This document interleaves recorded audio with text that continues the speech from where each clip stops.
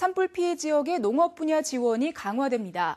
농림축산식품부는 희망농가의 정부 보유 보급종 벼 공급을 시작한 데 이어 지역 선호 품종인 오대벼는 공동 육묘회 무상 공급을 추진하기로 했습니다.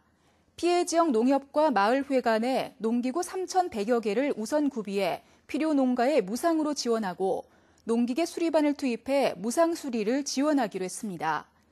피해 농업인 긴급 자금 지원을 위해 경영자금 상환 연기와 이자 면제, 신규 대출과 기존 대출금에 대한 저리 대환용 경영 회생 자금도 지원할 계획입니다.